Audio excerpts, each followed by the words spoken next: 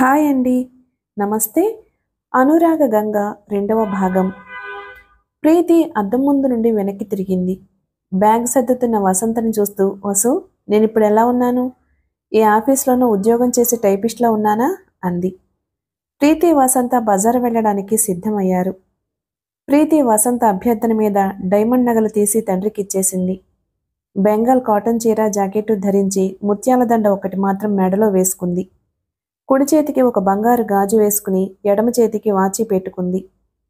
వసంత తను ఒంటరిగా సిటీలో తిరగాలి అని అనుకున్నారు కాబట్టి వీలైనంత నిరాడంబరంగా వెళ్ళడానికి నిశ్చయించుకున్నారు.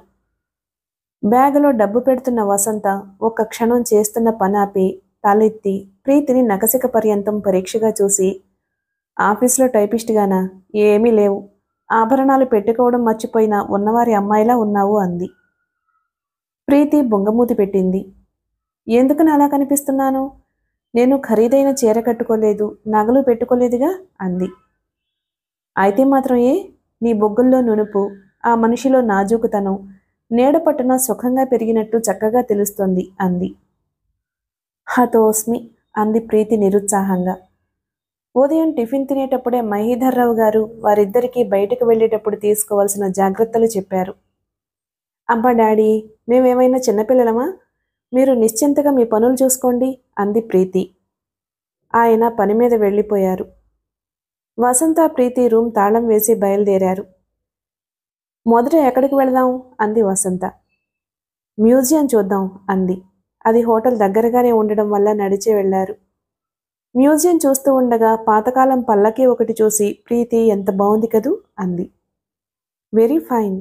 పక్క నుండి ఒక పురుష కంఠం వినిపించింది. పల్లకి తదేకంగా చూస్తున్న ప్రీతి ఉలిక్కిపడి తిరిగి చూసింది. అక్కడ ప్రీతికి సరసనే నిలబడినట్లుగా ఒక అతను నిలబడి ఉన్నాడు. తెల్లటి బట్టలు ధరించి ఉన్న అతన్ని చూడగానే పొడగరి సుమా అనిపించేటట్లున్నాడు. ప్రీతి తలెత్తి చూడగానే అతను చిరునవ్వు నవ్వాడు. పల్లకీని చూస్తూ ఏ అదృష్టవంతులు ఇందులో ఎక్కి దంపతులుగా ఊరేగారో అన్నాడు. అతని అధిక ప్రసంగానికి కలుపుగోలుతనానికి ఇంకెవరైనా అయితే ముగ్ధులయ్యేవారు. కానీ ప్రీతికి మాత్రం ఒళ్ళు మండింది.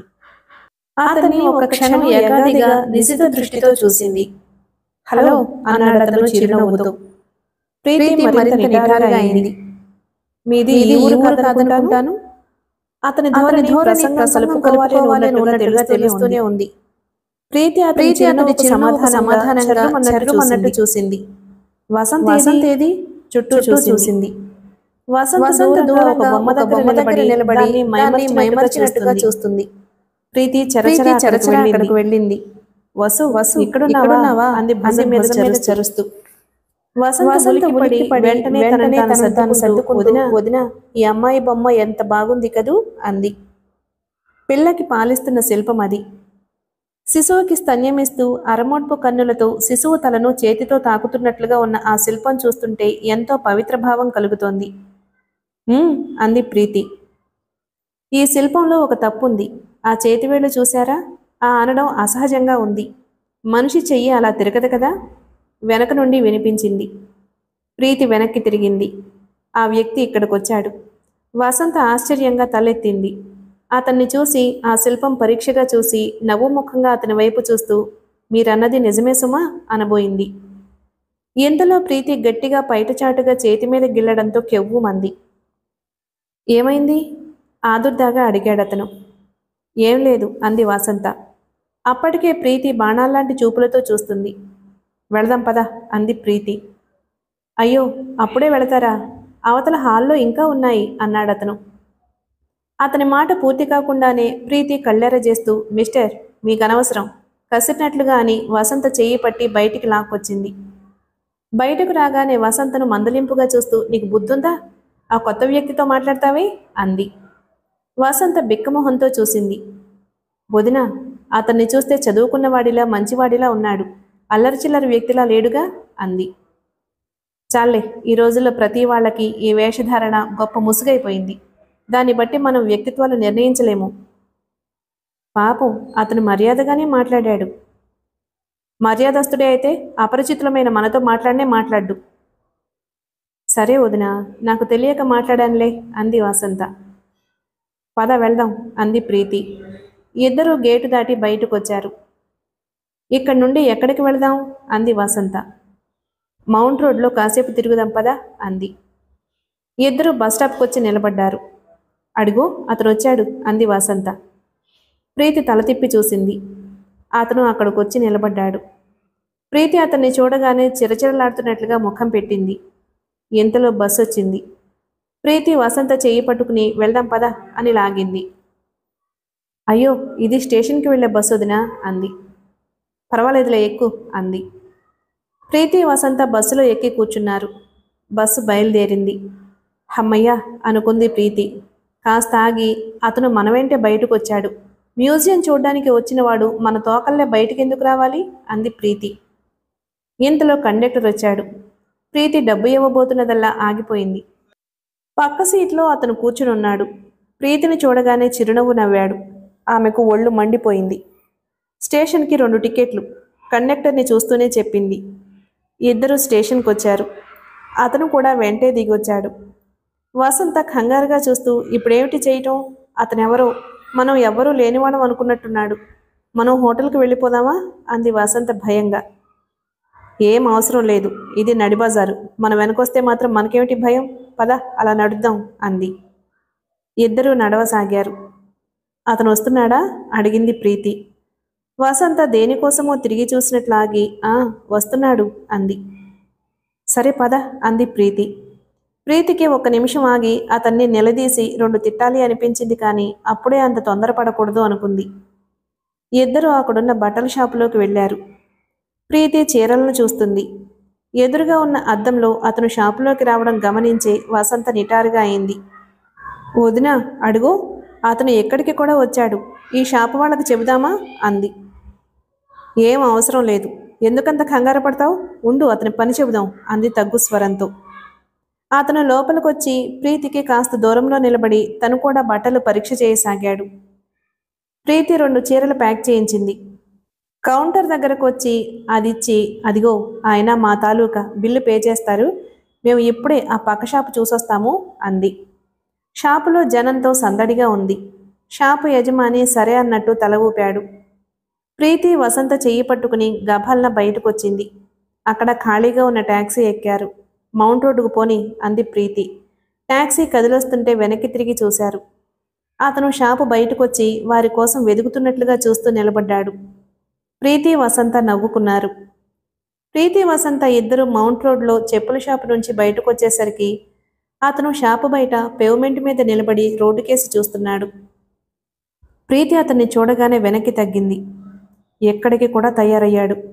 పళ్ళ బిగువన అస్పష్టంగా అంది. వసంత బాధగా చూస్తూ చూస్తే చదువుకున్నవాడిలా మర్యాదస్తుల్లా ఉన్నాడు. ఇతనికి ఇదేం బుద్ధి? అంది నొచ్చుకుంటున్నట్టుగా. రా పోదాం అంది ప్రీతి. ఇద్దరు బయటకొచ్చారు. అతను వెన్నంటే వచ్చాడు. వదిన ఆకలేస్తుంది అంది వసంత. ఇద్దరూ ట్యాక్సీ పిలిచి ఎక్కి హోటల్ పామ్గోవ్కి వచ్చారు. అక్కడ భోజనానికి కూర్చున్న కొద్దిసేపటికి అతను కూడా వచ్చాడు. దూరంగా ఉన్న టేబుల్ దగ్గర భోజనానికి కూర్చున్నాడు. ప్రీతికి కోపం లోపల కట్టలు తెంచుకుంటుంది. ఇక సహనం పట్టలేకపోతుంది. ఏమిటి అతని ఉద్దేశం? ప్రీతి భోజనం కాగానే లేచి చేయి కడుకుని యువతలకొచ్చింది. వసంత వెంటే వస్తూ చూసావా మన వెనక రావడం కోసం అతడు భోజనం సగంలో లేచేసి చేయి కడుక్కున్నాడు అంది. ఇద్దరు హోటల్ బయటకు వచ్చారు ప్రీతి చాలా కోపంగా ఉంది.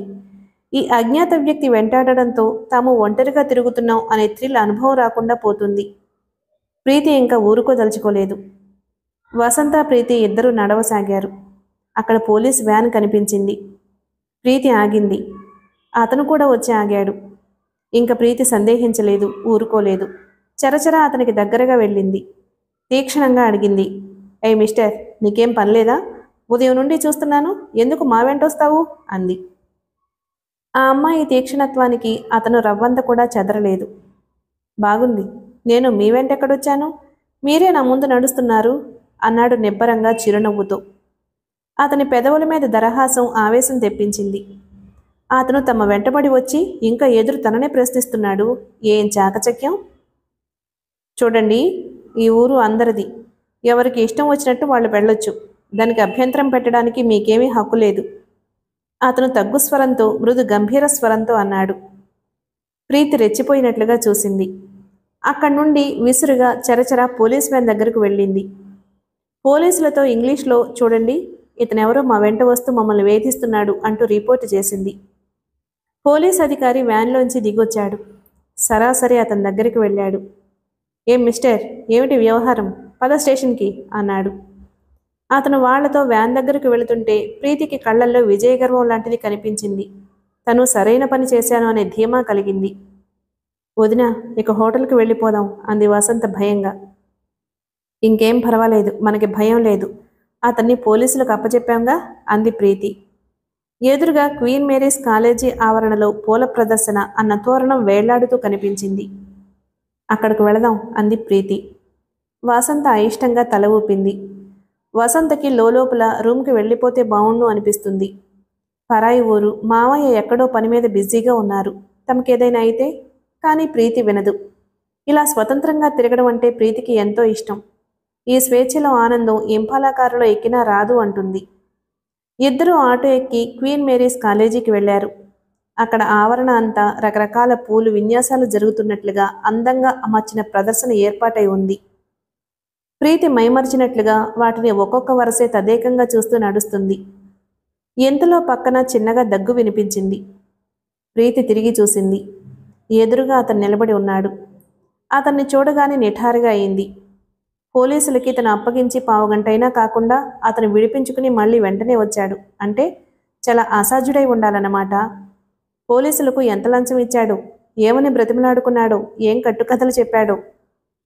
అతన్ని చూడగానే ప్రీతికి పూలు చూస్తున్న సరదా ఎగిరిపోయింది.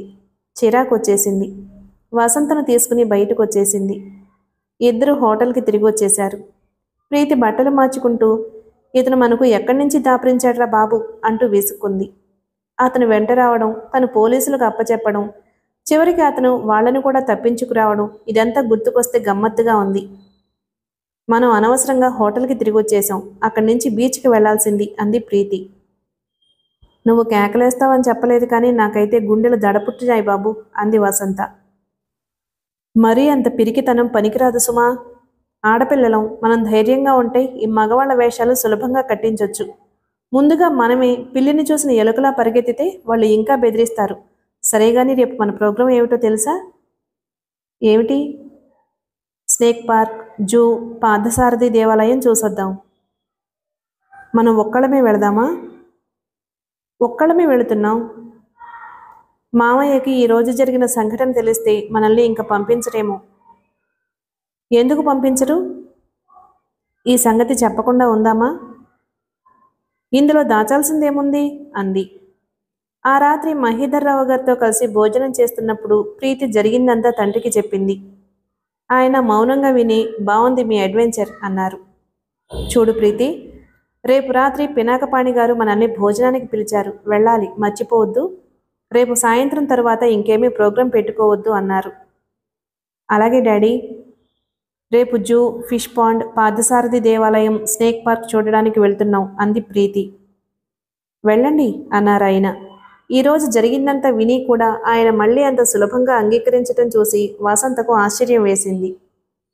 ఆ రాత్రి పడుకునేటప్పుడు ప్రీతి నేను చెప్పలేదు డాడీ ఏమనరు. ఏమైనా అనడానికి మనమేమైనా తప్పు చేస్తే కదా? అంది.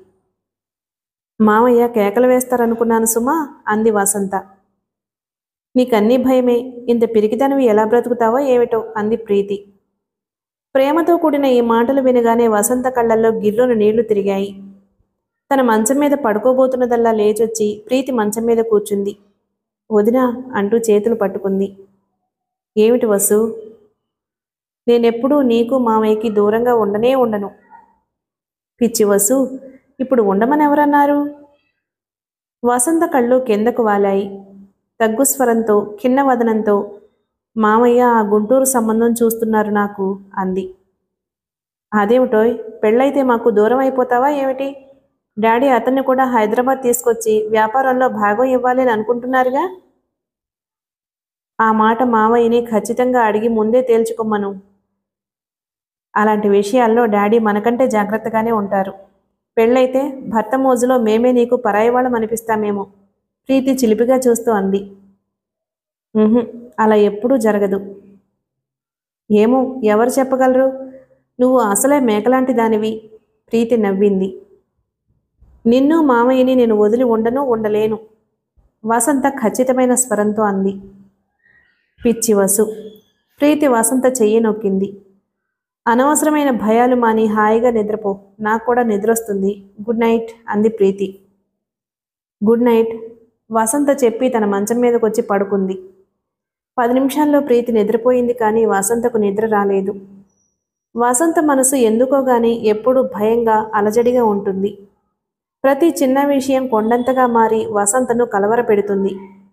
మంచం మీద పడుకుని కళ్ళు తెరిచి చూస్తున్న వసంత మనసు పరిపరి విధాల పోతుంది. ఉదయం కనిపించి తమ వెంట వచ్చిన వ్యక్తిని పోలీసులకు అప్పచెప్పకుండా ఉంటే బాగుండేదేమో అతను మనసులో అది ద్వేషంగా పెట్టుకుని ఏదైనా చేస్తే వసంతకి మనుషులతో తగాదా అంటే చెడ్డ భయం. ఎదుటివారు ఏదైనా అంటే మనం తలదించుకుని మన దారిన వెళితే ఏ గొడవ రాదు అనే నమ్మకం. ప్రీతి అలా కాదు. తనకు నచ్చనిది అక్కడికక్కడే దాని అంతేమిటో తేల్చేసుకుంటుంది. ఆ తరువాత ఇంక దాని గురించి ఆలోచించదు. వసంత అలా కాదు. మనసులో ఒకటే మదన పడుతుంది. తన ప్రవర్తన ఎప్పుడూ ఎదుటివారిని మెప్పించే విధంగా ఉండాలి అని తాపత్రయపడుతుంది. వసంత తల్లి జానకి మహేధర్రావు గారికి దూరపు బంధువు. వసంత తండ్రి చిన్నతనంలోనే కుటుంబం వదిలేసి ఎక్కడికో వెళ్ళిపోయాడు. జానకి పేదరికం అవమానం భరించలేక బావిలో దూకి ఆత్మహత్య చేసుకుంది. జానకి బంధువులు మహేధర్రావు గారికి ఈ విషయం చెప్పి ఆ పిల్లకు ఆశ్రయం కల్పించమని కోరారు. మహేధర్రావు గారికి అప్పుడే భార్యపోయిన కొత్త. ప్రీతికి ఒంటరితనం లేకుండా తోడుగా ఉంటుందని వసంతను తీసుకువచ్చి ఇంట్లో అట్టిపెట్టుకున్నారు. దాదాపు ఒకే వయసు అయిన వసంత ప్రీతి ప్రాణ స్నేహితుల్లా కలిసిపోయారు. వసంతను తీసుకువచ్చిన రోజునే మహీధర్రావు గారు కూతుర్ని పిలిచి వసంతను చూపిస్తూ ఈ అమ్మాయి నీకు తోడుగా ఉంటుంది అని తీసుకొచ్చాను. మీ ఇద్దరూ పోట్లాడుకోకూడదు అని చెప్పారు. ప్రీతి అలాగే డాడీ అంది. వసంతను తన వెంట తీసుకువెళ్ళి తన పుస్తకాలు బొమ్మలు చూపించి ప్రీతి దగ్గర వసంత తనకు నచ్చిన చదువుని మెరుగుపెట్టుకోసాగింది. మహీధర్రావు గారు వసంతను ప్రైవేటు పరీక్ష రాయించి ప్రీతితో పాటు కాలేజీలో చేర్పించారు. ఇద్దరూ కలిసి కాలేజీకి వెళ్ళడం సినిమాలకు వెళ్ళడం ఒకవేళ ఆయనకి ఇంటికి రావడం ఆలస్యమైతే ఒకరికి ఒకరు తోడుగా కబుర్లు చెప్పుకుంటూ గడపడం చేసేవారు. కొద్ది సంవత్సరాలు గడిచేసరికి వసంత పరాయి పిల్ల అనే సంగతి ఆ ఇంట్లో వారికి తప్ప బయట వారికి తెలియకుండా పోయింది.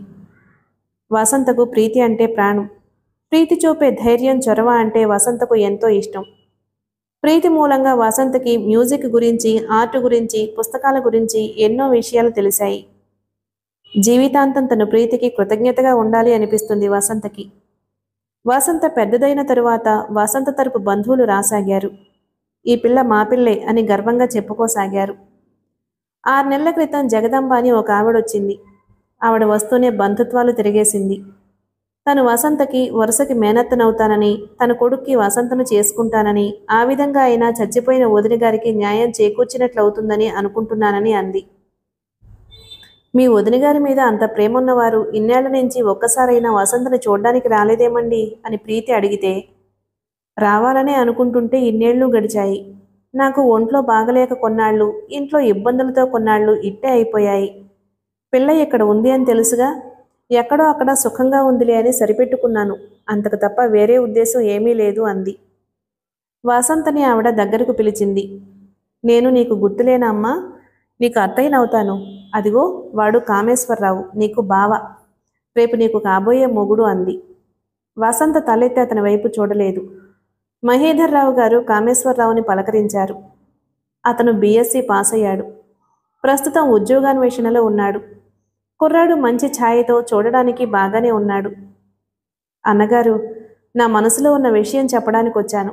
దాని రాత బాగలేక ఇన్నాళ్ళు దిక్కులేని దానిలా మీ దగ్గర పడుంది. ఈ మాట వినగానే ప్రీతికి కోపం వచ్చింది. జగదాంబ గారు కాస్త మర్యాదగా మాట్లాడండి. వసంతని మేము ఎప్పుడు దిక్కులేని దానిలా చూడలేదు అంది. ఊరుకొమ్మా అన్నారు మహీధర్రావు గారు. నేనిప్పుడు అంత కాని మాట ఏమన్నానండి?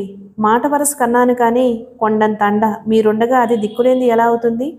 ఏది? మా వాడికి మీరు ఉద్యోగం చూపిస్తే వాళ్ళిద్దరూ మీ కాళ్ళ దగ్గరే పడుంటారు. అదిగో కాళ్ళ దగ్గర పడుండడానికి వాళ్ళు ఏమైనా పెంపుడు జంతువులా? అంది ప్రీతి. నేను మీ నాన్నతో మాట్లాడుతున్నానే అమ్మా. నీతో మాట్లాడడం లేదు. మా పెద్దవాళ్ళ మాట తీరే అంత అంది. మహీధర్రావు గారు ఆవిడని ఒక వారం రోజులు ఉండమని అన్నారు.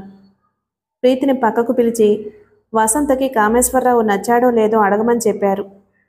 ప్రీతి అడిగితే వసంత సిగ్గుపడిపోయింది. ఇందులో సిగ్గుపడవలసింది ఏమీ లేదు. అతను నీకు నచ్చాడో లేదో చెప్పు అంది. వసంత నచ్చినట్టు తల ఊపింది. మహీధర్రావు గారు వసంతని కామేశ్వరరావుకి ఇచ్చి చేస్తాను అని చెప్పారు. జగదంబ గారు నిశ్చింతగా వెళ్ళిపోయింది. కామేశ్వరరావుతో వసంత పెళ్ళి నిశ్చయం అయినట్లే కానీ వసంతకే అనుమానం. వాళ్ళు తనను సరిగా చూస్తారో లేదో. ప్రీతి దగ్గర ఈ అనుమానం వెల్లడి చేసింది. ప్రీతి నవ్వింది. వాళ్ళు నిన్ను చూసేదేమిటి? నువ్వే చూస్తావో లేదో అని వాళ్ళు భయపడాలి. నువ్వు అలా ఉండాలి అంది. వసంతకు భయం. కామేశ్వరరావు అంటే ఇష్టంగానే అనిపించింది. ఆ జగదంబ నోరంటేనే వెరపుగా ఉంది. ఆ ఆవిడ మీతో ఉంటుందా ఏమిటి? అంది ప్రీతి. వసంతకు ప్రీతికి దగ్గరగా ఉంటే తనను ఎవ్వరూ ఏమీ చేయలేరని అదొక మనస్థైర్యం. ప్రీతి అక్కగారిలా అనిపిస్తుంది. వసంత అనుమానాలను భయాలను ప్రీతి ఒక నవ్వుతో కొట్టిపారేస్తుంది. నువ్వు భయపడేది ఎదుటివారిని చూసి కాదు నీలోనే ఉన్న పిరికితనానికి. దాన్ని నువ్వు జయించగలగడం నేర్చుకోవాలి. ఎప్పుడు ఏదో అవుతుంది అని భయపడే కంటే అదేదో జరిగినప్పుడు చూసుకుందాంలే అనే ధైర్యం ఉండాలి సుమా అనేది. ప్రీతి సాయంతో తనలో తాను వెంటాడే భూతం లాంటి భయాన్ని పారద్రోలడానికి వసంత ఎంతో ప్రయత్నించింది కానీ సాధ్యం కాలేదు. కొత్త చోటంటే భయం కొత్త మనుషులంటే భయం. ఎల్లవేళలా ఎవరైనా తనను దగా చేస్తారేమోనని వెరపు. తనలో ఎందుకు ఇలా ఉంటుందో వసంతకే తెలియదు. మంచం మీద పడుకుంటే ఫ్యాన్ మీద పడుతుందేమో. బిల్డింగ్ కూలి దీని కింద కూరుకుపోతానేమో. ఒకటే మృత్యు భయం. మృత్యువు ఎక్కడ తనను కాటువేస్తుందో అని హడలిపోతూ ఉంటుంది. ఎలక్ట్రిక్ సామాన్ చూస్తే అవి ఎక్కడ షాక్ కొడతాయో అని భయం. పెద్ద పెద్ద సామాన్ చూస్తే అవి ఎక్కడ దొర్లుకొస్తాయో అని హడలు. కారులో వెళితే యాక్సిడెంట్ అవుతుందేమో?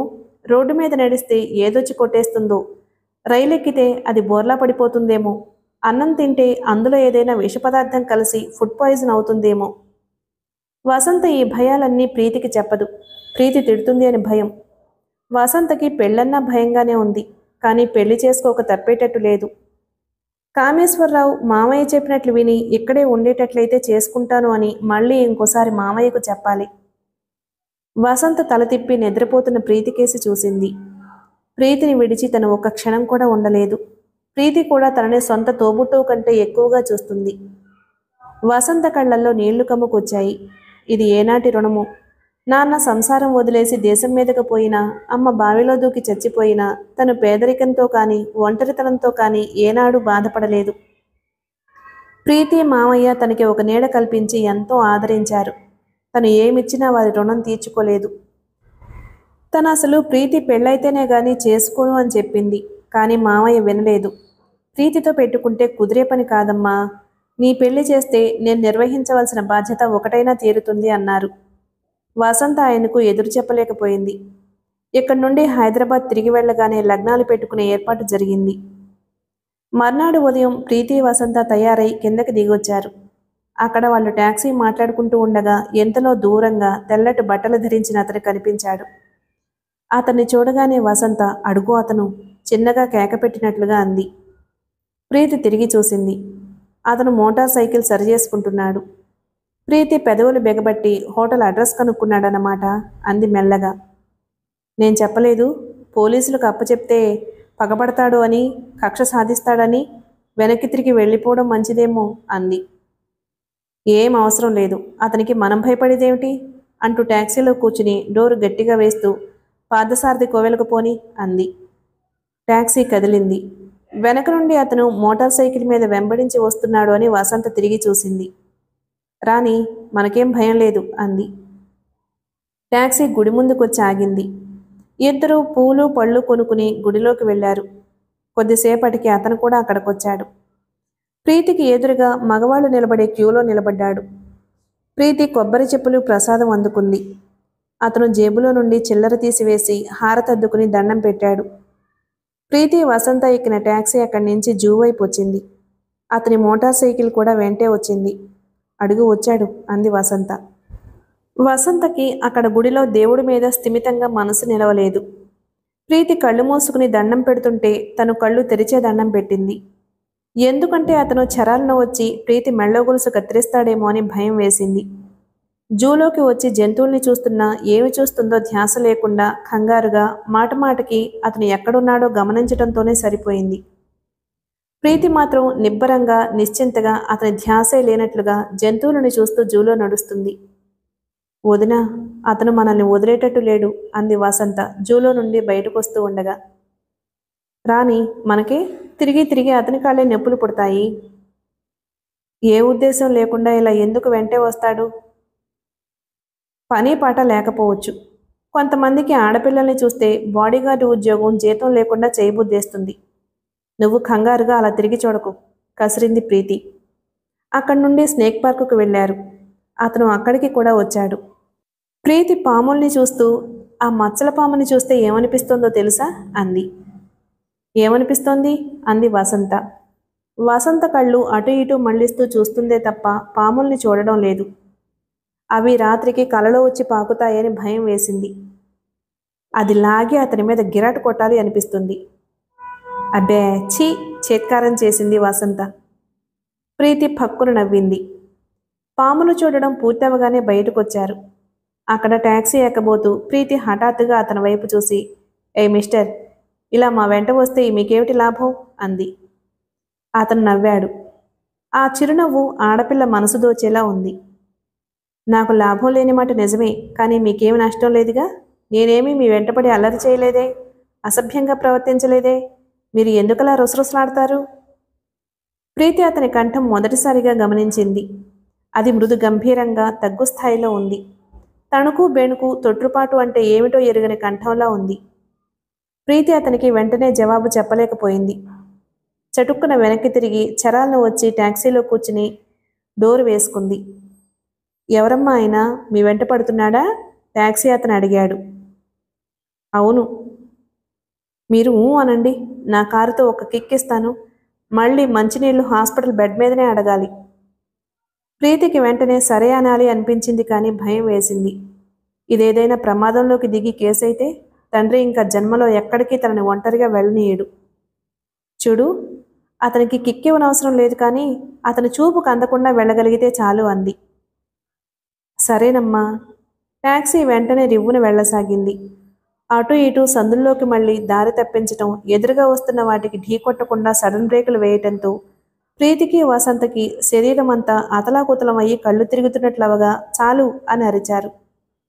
అతను వస్తే వచ్చాడు. నెమ్మదిగా పోని అంది ప్రీతి. అప్పటికి సాయంత్రం అయ్యింది. ప్రీతికి తండ్రి పినాకపాణి గారి ఇంటికి భోజనానికి వెళ్ళాలి అని చెప్పిన సంగతి గుర్తుకొచ్చింది. హోటల్ పేరు చెప్పి అక్కడికి పోని అంది. ట్యాక్సీ హోటల్ దగ్గరకు వచ్చింది. ప్రీతి వసంత దిగారు. దూరంగా అతను కూడా మోటార్ సైకిల్ మీద ఆగాడు. మన వెంటే వచ్చాడు అంది వసంత. రాని పాపం బాడీగార్డ్ ఉద్యోగం పుచ్చుకున్నాడు కదా. కరెక్ట్గానే నిర్వహిస్తున్నాళ్ళే అంది ప్రీతి. ఇద్దరు పక్కున నవ్వుకున్నారు. సాయంత్రం ఏడు గంటలవుతూ ఉండగా మహేధర్రావు గారు ప్రీతిని వసంతను తీసుకుని పినాకపాణి గారి ఇంటికి వెళ్ళారు. ఆయన ఇల్లు హబీబుల్లా రోడ్లో ఉంది. గత ఇరవై సంవత్సరాలుగా ఆయన మెడ్రాస్ హైకోర్టులో లాయర్గా పనిచేస్తున్నారు. క్రిమినల్ సివిల్ దావాలలో ఆయన చేపట్టిన కేసు ఓడిపోవడం జరగదు అనే ఖ్యాతిని ఆర్జించారు. సంపాదన లెక్కలేనంతుంది జీవితం అన్నీ ఇచ్చి ఆశీర్వదించి అంతకంటే రెట్టింపు విషాదం కూడా ఇచ్చింది. ఆయనకు పిల్లలు లేరు. ఆయన భార్య దమయంతి చెయ్యని పూజ మొక్కని పుట్టాలేదు ఆవిడికి పిల్లలు పేరు చెబితే కళ్ళల్లో నీళ్ళు గిర్రను తిరుగుతాయి. ఆయన మాత్రం సీరియస్గా తీసుకోరు. మనం ఎవ్వరికీ రుణం లేమన్నమాట అంటూ నవ్వుతూ తోసిపారేస్తారు జాగ్రత్తగా ఆయనను అర్థం చేసుకున్న వారికి అది పైపైకి కనిపించే నటనేనని ఆయన ఆంతర్యంలో కూడా అది తీరని వ్యధేనని ఇట్టే తెలుస్తుంది. తండ్రి ద్వారా వారి విషయాలు విన్న ప్రీతికి పినాకపాణి గారంటే చాలా ఇష్టం. ప్రీతి ఈ మధ్య మెడ్రాస్ రాలేదు. క్రితంసారి ప్రీతికి పన్నెండు సంవత్సరాల వయసులో ఉండగా వచ్చి తండ్రితో పాటు ఇక్కడ ఉండి వెళ్ళింది. తర్వాత అడపాదడప వచ్చిన ఒకటి రెండు రోజుల కంటే ఉండకపోవడం ఆ ఉన్న రెండు రోజులు తండ్రితో కలిసి ఉండడంతో ఎక్కడికి వెళ్ళే అవకాశమే దొరకలేదు.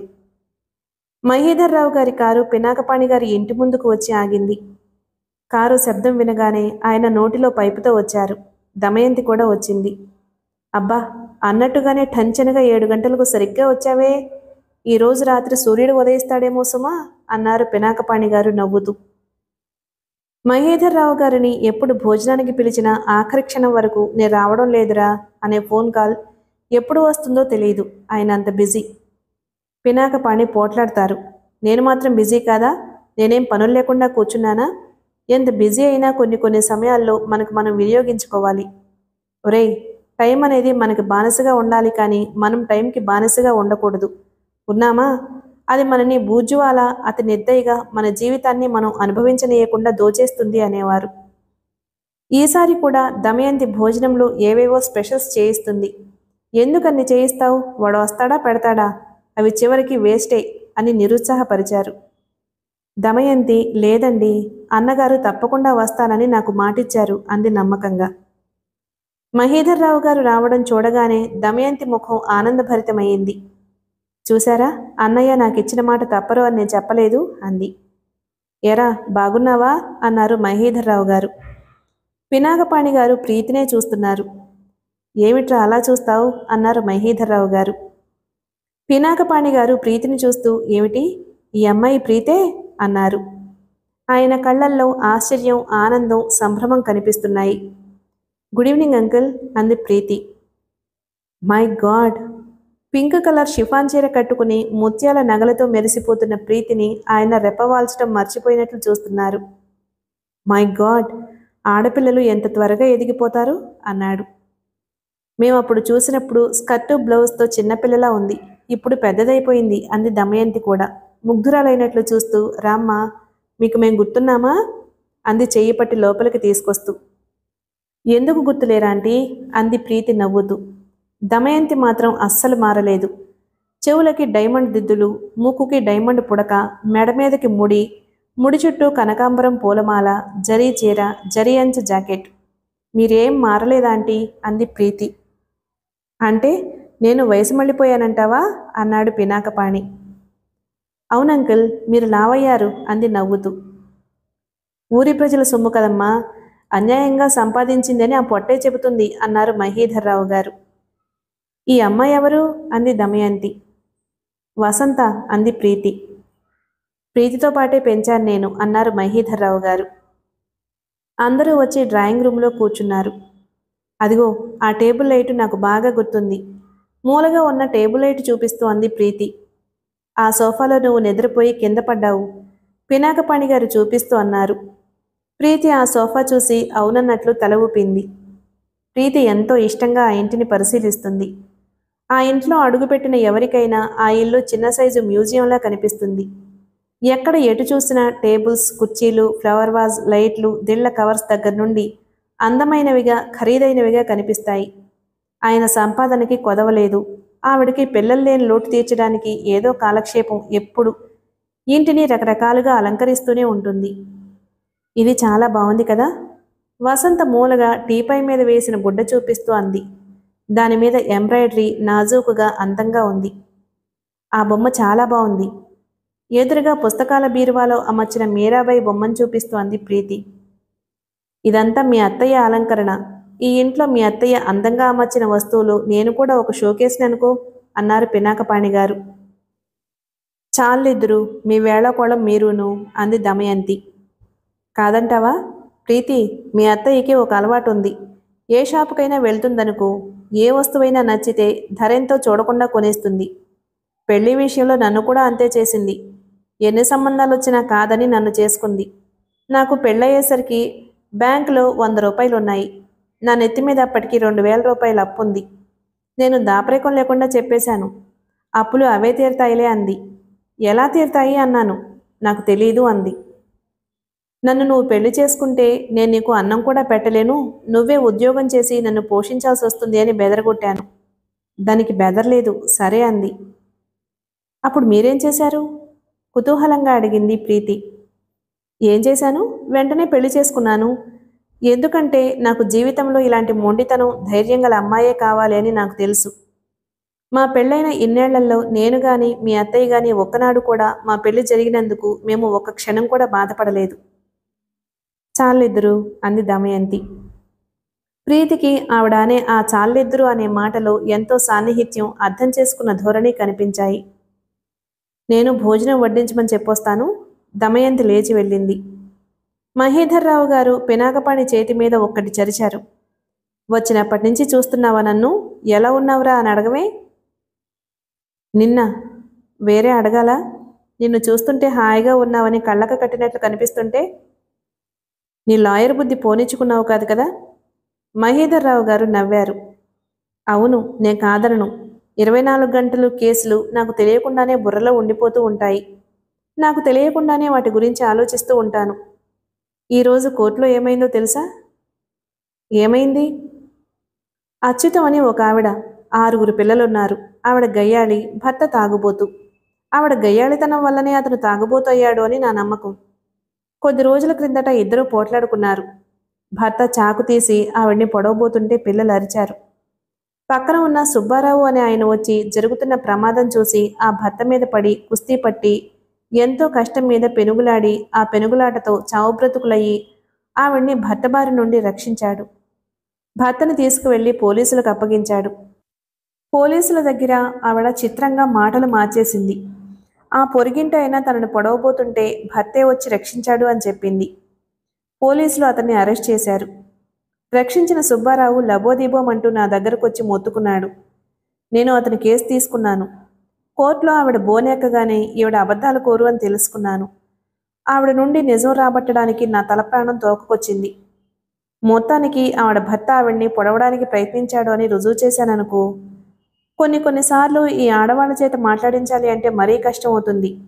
అన్నింటికంటే పెద్ద ఆయుధం ముందు శోకాలు మొదలు పెడతారు. ఇంతలో దమయంతొచ్చింది భోజనం రెడీ. టేబుల్ మీద అన్నీ సర్దాను. మీదే ఆలస్యం. పినాకపాణి గారు వాచి చూసుకున్నారు. శరతేడి ఇంకా రాలేదేమిటి? అన్నారు. లేవబోతున్న మహీధర్రావు గారు మళ్ళీ కూర్చున్నారు. ఇంకెవరైనా రావాలా? అన్నారు. పరాయి వాళ్ళు ఎవరూ కాదు మావాడే శరత్ అన్నారు. అతని కోసం మీరెందుకు ఆగడం? మీరు రండి అంది దమయంతి. సరే అన్నారాయన ప్రీతి వసంత లేచారు. డైనింగ్ హాల్లోకి వచ్చారు దమయంతి వడ్డిస్తుంది. ప్రీతి అక్కడ లోపలి దర్వాజాకి అలంకారంగా అమర్చిన పూసల తెరను చూడగానే ఎంత బాగుంది కదూ అంటూ దాని దగ్గరకు వెళ్ళింది. వసంత కూడా వెంటొచ్చింది. అన్ని రంగురంగుల పూసలు చాలా చక్కగా ఎన్నిక చేసి గుచ్చారు అంది ప్రీతి దాన్ని చూస్తూ. వదిన ఇంటికి వెళ్ళగానే నీ బెడ్రూమ్కి ఇలాంటిది నేను ఒకటి తయారు చేసిస్తాను చాలా బాగుంది అంది వసంత. అడుగు శరత్ రానే వచ్చాడు అన్నారు పినాకపాణి గారు. రావయ్యా రా ఇంత ఆలస్యం ఏమిటి? ఇంటికి బంధువులు వస్తున్నారు త్వరగా రా అని చెప్పానుగా మర్చిపోయావా? ప్రీతి తిరిగి చూసింది. పినాకపాణి గారు మహీధర్రావు గారికి పరిచయం చేస్తున్నారు. శరత్చంద్ర నాకు అసిస్టెంట్గా చేస్తున్నాడు. అసిస్టెంట్ అని అతన్ని అనేకంటే ప్రస్తుతం నా ప్రొఫెషన్లో నేనే అతనికి అసిస్టెంట్ని అనడం నిజం. అంతగా అతని మీద ఆధారపడిపోయాను. ఇతనే నా ప్రాక్టీస్ చూస్తున్నాడు అన్నారు. అలాగా? మా పినాకపాణికి నచ్చటం అంటే మీలో ఏదో ఒక ప్రత్యేకత ఉందన్నమాటే. మా వాడికి నచ్చటం అంటే మాటలు కాదు. I congratulate you. మహేధర్రావు గారు నవ్వుతూ చేయి చాచారు. Glad to meet you sir. అతను కరచాలనం చేస్తూ అన్నాడు. తండ్రితో చేయి కలుపుతూ మాట్లాడుతున్న అతన్ని చూడగానే ప్రీతి నిఠారుగా అయింది. ముఖంలోకి ఒక్కసారిగా రక్తంతో పాటు ఆగ్రహం ఆవేశం పొంగులా వచ్చేశాయి. అప్పటికే తను కూడా ఇటు తిరిగిన వసంత అతన్ని చూడగానే భయంగా ప్రీతి చేతి మీద చెయ్యానేస్తూ తగ్గుస్వరంతో వదిన ఇదేమిటి? ఇతను అయోమయంగా కంగారుగా చూస్తూ అంది. పినాకపాణి గారు అతన్ని చెయ్యి పట్టి ప్రీతి వైపు లాక్కొచ్చారు. ప్రీతి ఇతను శరత్చంద్ర. నాకు అసిస్టెంట్. మీ అత్తయ్యకి ప్రాణం. ఇతన్ని చూస్తే అబద్ధం అధర్మం వెయ్యి మైళ్ళ అవతలకి పారిపోతాయి. ఇది అతని ప్రత్యేకత అని శరత్చంద్ర వైపు తిరిగి శరత్ ప్రీతి ప్రీతి అంటే అందానికి ఆత్మీయతకి అర్థం అని అర్థం అన్నమాట అంటూ పరిచయం చేశాడు. నమస్తే. అతను చిరునవ్వుతో చేతులు జోడించాడు. అసలే గంభీరంగా ఉన్న అతని కంఠం ఇంకా కిందకు దిగి అతి మంద్రస్థాయిలో పలకడంతో అది ఉరుము నిద్రలో బద్ధకంగా కదిలినట్లుగా ఉంది. ప్రీతి నిటారుగా నిలబడి అతన్నే చూస్తుంది. నమస్తే. ప్రీతి పెదవులు యాంత్రికంగా కదిలాయి. మిగిలిన కథ తరువాయి భాగంలో విందాం. Please like and subscribe my channel. Thank you.